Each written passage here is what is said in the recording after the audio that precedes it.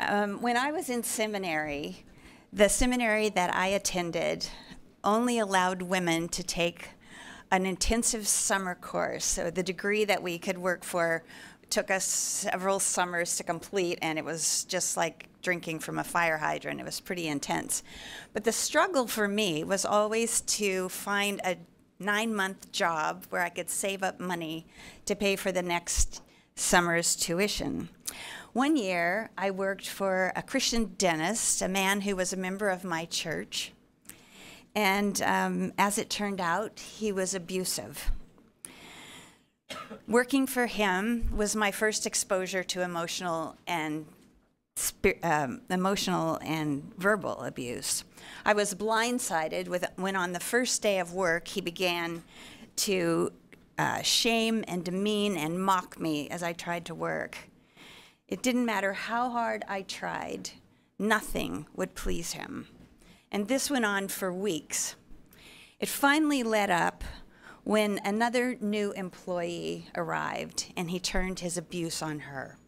Evidently, his way of breaking in a new employee was to abuse them.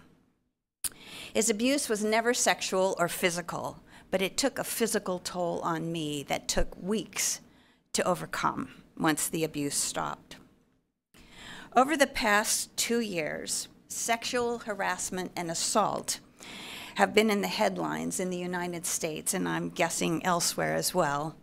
And that story isn't going away. A litany of women, once bullied, threatened, and intimidated into silence, rose up to voice allegations against very powerful men who previously got away with their abusive actions. The tipping point proved to be the ouster of Hollywood mogul Harvey Weinstein. And that led to multiple resignations and firings. Over 71 followed in pretty quick succession. It also uh, triggered an avalanche on Twitter. If you're familiar with social media, you know everybody globally uses Twitter, and there are hashtags that are used. That's the little symbol. Um, to join a community talking about the same thing. And so this triggered an avalanche of Me Too tweets where women were telling that they had also experienced abuse. Some of them were, um, all they could do was just put the hashtag up. They couldn't even say what kind of things they had been through. Um, the Me Too hashtag got translated into other languages, and the movement went global because it because it is a global movement.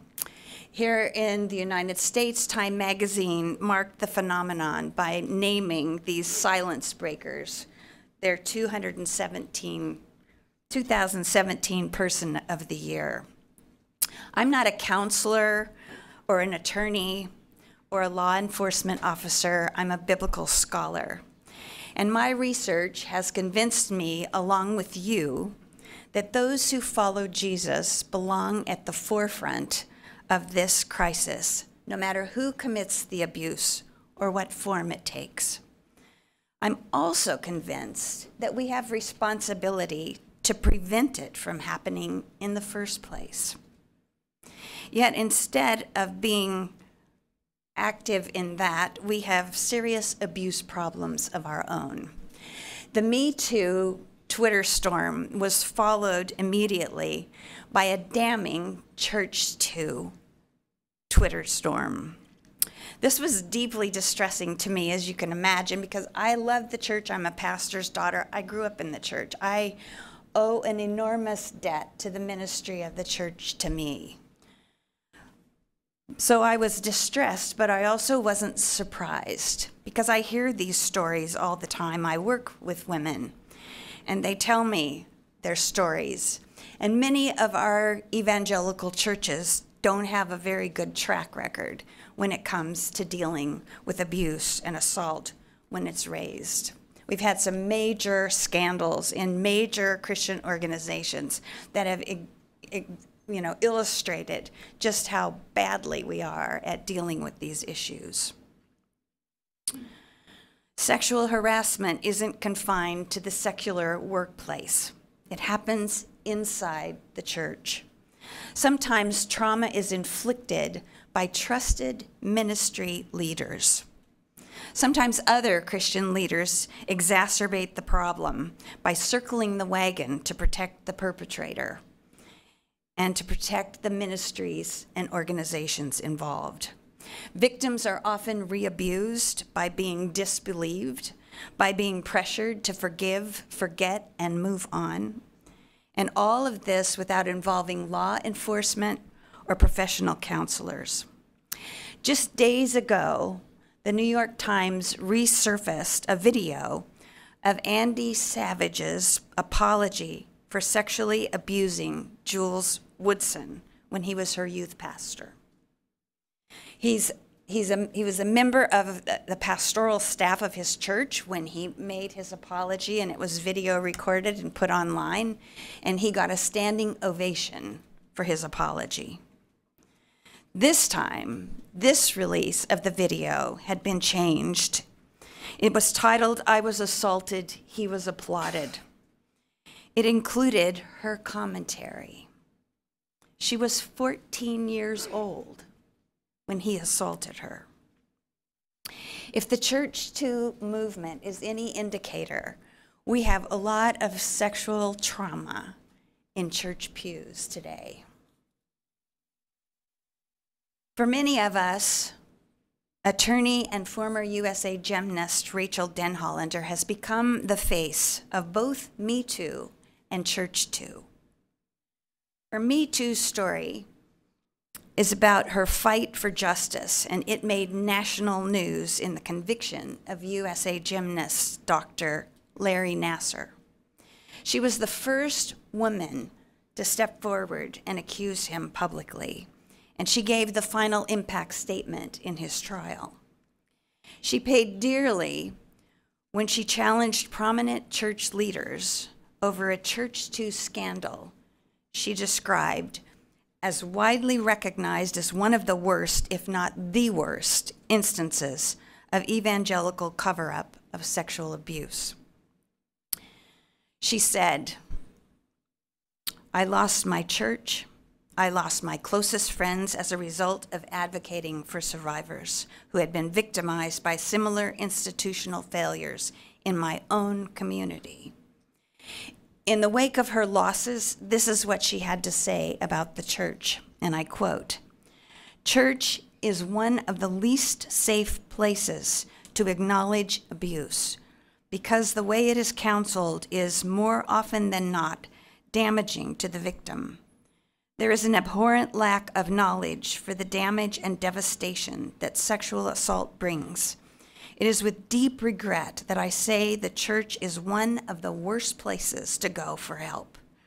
That's a hard thing to say because I'm a very conservative evangelical, but that is the truth. There are very, very few who have ever found true help in the church. End quote. Well, this is where my work is relevant.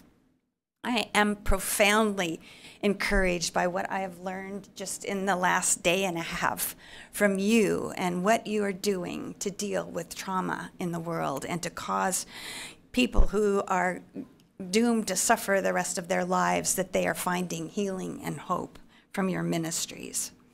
But in good conscience, we can't adequately address this epidemic without exploring causative factors that increase female vulnerability and allow such violations against women to occur within our own ranks.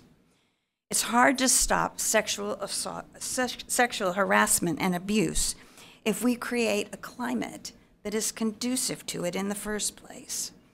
Without investigating and addressing the sources of the problem, we're fighting a losing battle.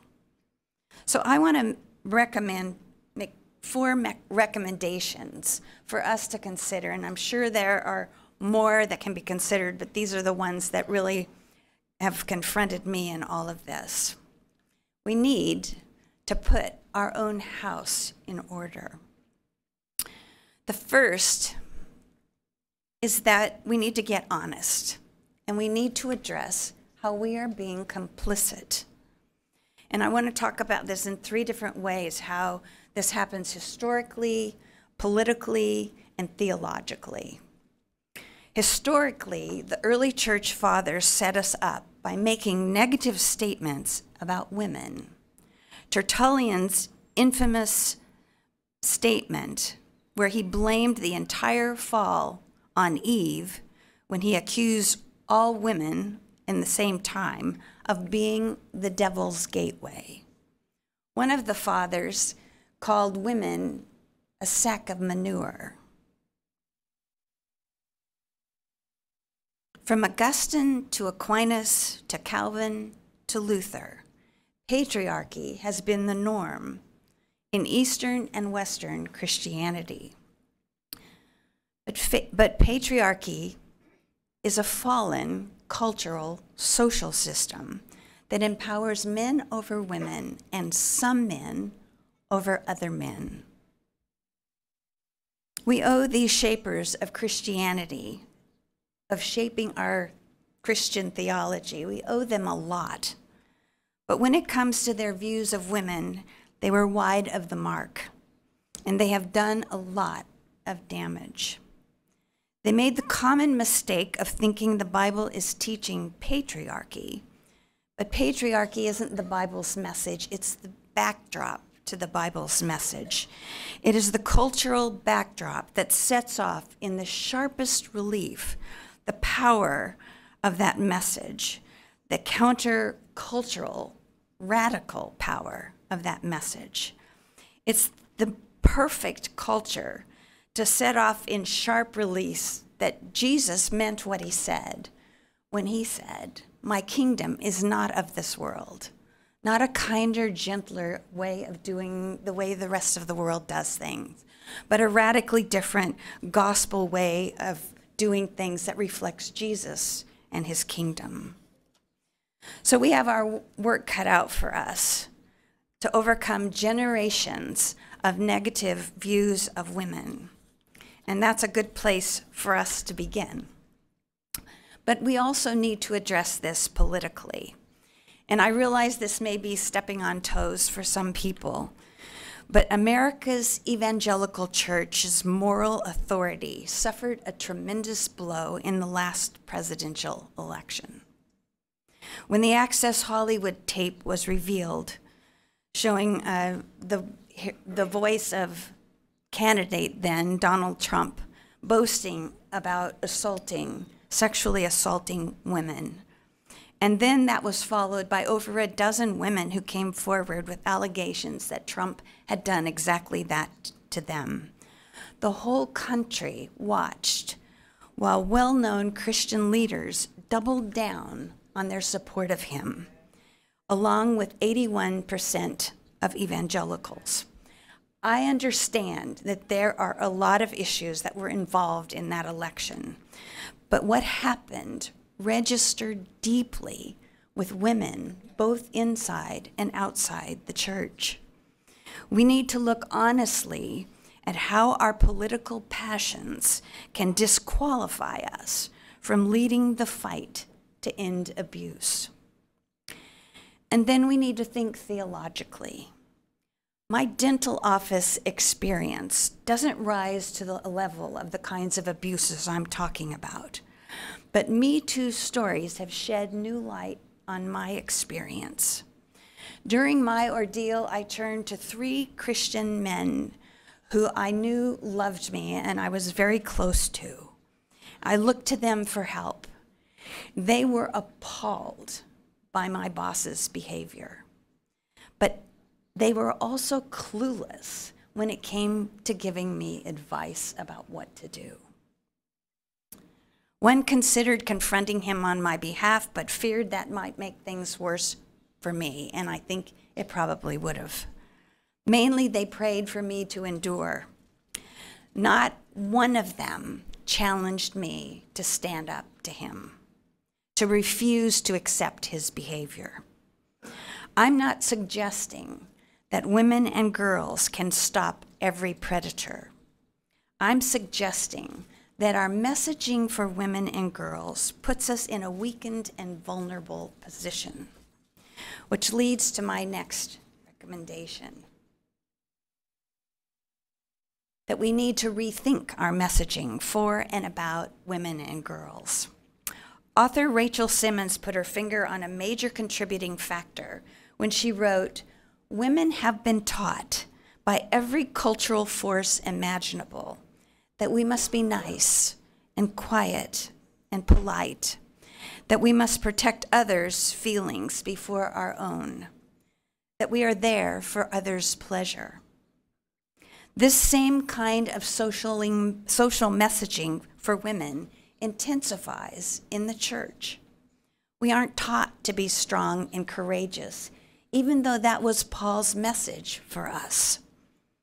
We aren't urged to develop the kind of backbone needed in awkward situations with the opposite sex. We aren't conditioned to be decisive and proactive. Instead, silence and submission are too often the church's watchwords for women. We hear more about these two words than anything else that addresses us as women. And both words put us at risk. Yes, both words appear in the Bible and both words appear with reference to women. But both words take on deeper meaning, more radical meaning, when Jesus' gospel redefines them. Silence, the so called silencing of women, becomes a distortion when it is interpreted as a ban on the female voice. It ignores other biblical texts that validate the female voice as an indispensable source of theological instruction for all believers. What would we be missing if we didn't have the theological voices of Hagar, Deborah, Hannah, or Mary of Nazareth? Jesus gave the strongest affirmation of women's voices when he charged his female disciples to proclaim the news of his resurrection and rebuked his male disciples for refusing to believe them. Submission in the Bible is a universal call for all believers, both male and female, that ultimately points to Jesus. His brand of submission, which we read about in Philippians 2, isn't an occasional event, it's a lifestyle of sacrifice for the good of others. It is not an expression of weakness or concession. It's an act of love, strength, conviction, and a commitment to do the Father's will. It may mean saying no. Church teaching on female submission has young girls in serious dating relationships asking, When do I start submitting? It had an academic dean at a major Christian college, vexed when he observed his male students looking for submissive women instead of valuing women for the strengths and wisdom a man needs from his wife.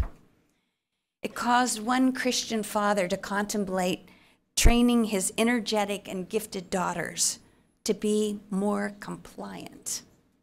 How dangerous is that? Church teaching did not empower a 14 year old Jules Woodson when her, when her youth pastor crossed the line.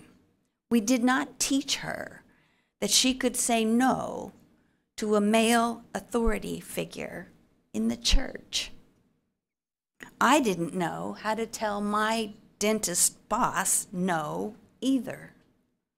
We lose our voices inside the church and that comes at a cost when we face awkward or threatening situations. It is also a loss to the church and to the men who need us to speak up. So we need to address how we are complicit. We need to rethink our messaging uh, for and about women and girls, and we need to rethink our messaging for and about men and boys. The Me Too crisis isn't just a women's issue and women alone aren't going to solve it. Women can ignite the movement, But any lasting change requires the significant participation of our brothers. What brand of masculinity do we preach to them? Does it reinforce male power over women? Does it portray women as the problem? Or does it call men to be responsible for their own actions? Does it cast a radical countercultural vision of masculinity that reflects Jesus and his gospel? The Me Too epidemic is an abuse of power. Do we guide men and boys to exercise their power and privilege to empower others and to promote their flourishing? How would the church's reputation change for the better if we were doing that? Do we point to Jesus as the model of true masculinity? He didn't objectify or marginalize women. Instead, he valued their minds, their voices, and he empowered their ministries. Viewed against the backdrop of the ancient patriarchal culture, Jesus' interactions were shocking and radical. He broke all the gender barriers and validated and valued the women he encountered. The fourth recommendation is that we utilize the Bible's Me Too stories. Just like the Bible talks a lot about prison, it also talks a lot about Me Too. It contains Me Too stories that give pastors the opportunity to raise awareness of this issue in the church. Have we even noticed these stories? Hagar, Bilhah, Zilpah, and Esther were young girls who were trafficked as slaves, and sex ended up being part of the deal. Tamar and Judah's story is complicated, but Judah vindicates Tamar and he condemns himself when he calls her righteous. Telling the truth about these Me Too stories also means coming to terms with the fact that some of our biblical male heroes were deeply flawed. Bathsheba's Me Too story provides a biblical precedent for calling powerful abusers to account. The prophet Nathan described Bathsheba as a lamb and he leads King David to condemn himself and his own abuse of power and of rape. But there's good news in all of this because the Bible contains powerful narratives where a Me Too story could have happened but didn't. The book of Ruth is exhibit A, and I must say I will be terribly frustrated to be limited in how much I can say about that book because it has been life changing for me. But I know most of us think of this as a beautiful romance story. But it's actually not a romance, especially when you put it against the backdrop of the patriarchal world. It is a classic story of trauma. Naomi becomes a famine refugee. That's enough to do it right there. But she also suffers the death of her husband and enters a most vulnerable demographic, becoming a widow. Her sons marry pagan girls. They go through 10 years of double infertility, which is a total calamity in a world where a girl's, a wife's job is to produce sons to preserve the family. Instead of positive pregnancy tests, they end up at the end of those 10 years with the deaths of both of her sons. It is a total wipeout for Naomi. She is a female Job, and the book of Ruth is the story of a female Job. Job questions God's justice, Naomi questions God's love. But this book is Exhibit A, as I said. Ruth is at risk, and so is Naomi. For our purposes, I want to focus on the meetings between Ruth and Boaz. In both of the meetings, the meeting in his barley field and the second at the threshing floor, both of these meetings present situations that could have turned out badly for Ruth. She's young, female, foreign, a Gentile, She's one of she's she's in the most at-risk demographic. In today's world, we would call her Arab. She's from Jordan, Jordan, and we would also call her an undocumented immigrant. Patriarchy deprives women of voice, agency, and legal rights, especially when there's no man in the family to protect them. Boaz is male, he's Jewish, he's in his homeland. He's a descendant of one of Israel's leading families, and he is a powerful landowner. At birth, patriarchy bestows on males power, privilege, and legal rights. Boaz fits the global profile of men who assault, exploit, and abuse women in today's world. Ruth's decision to glean was a matter of survival, but it exposes her to greater risk. She has to venture out in a foreign land by herself, and she becomes a common field worker. She's at greater danger at the threshing floor when she approaches Boaz in the dead of night. But this is where Ruth's story changes. And Naomi's story will change too. Both Ruth and Boaz live before the face of God, and this changes everything for them. What happens here is instructive for the church. For Ruth draws from her taking refuge under the wing of Yahweh, she draws radical courage that is absolutely mind boggling in her circumstances. And Boaz will use his advantages in every encounter to empower her, and together, the two of them will bring healing and hope to Naomi. In the barley field, Boaz intervenes and tells his male harvesters not to touch her. At the threshing floor, when she approaches him, it's dark and no one is looking. If it came down to a he said, she said story, no one in all Bethlehem would believe her word over his. Instead, in every situation, Boaz will use his male power and privilege sacrificially to empower Ruth and ensure that her initiatives on Naomi's behalf succeed. In the end, a hungry widow is fed, a dying family is rescued from extinction, and God advances his purposes for the whole world through their actions, actions that they never knew the outcome. They become a blessing to each other, to Naomi, and to the entire world by what they do. So it's no accident that sexual abuse is in the headlines. But this is a window of opportunity for us to become a beacon of hope, a place of safety, a powerful force to end every form of violence against women globally.